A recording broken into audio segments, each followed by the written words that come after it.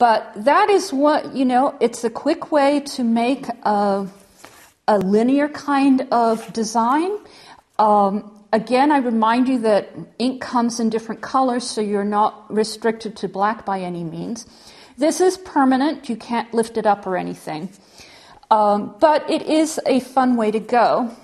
Now, if you work on you can get a stronger separation if you work on a smoother surface. This is foam core, and it comes with a very shiny plastic sort of surface.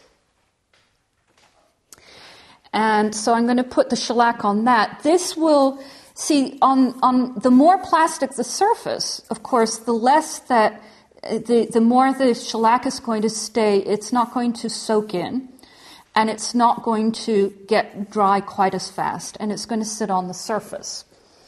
And sometimes that works better for your ink. And you can try putting it in thick. You know, there's nothing to say that you can't start designing, you know, by how you put this on. Look what that's doing there. That's really kind of cool. Let me see if I can you know, I might not be able to get that to happen again because this is all, you know, it's how dry the shellac is. Um, and shellac does dry very quickly. It's dry in like five, five minutes or so.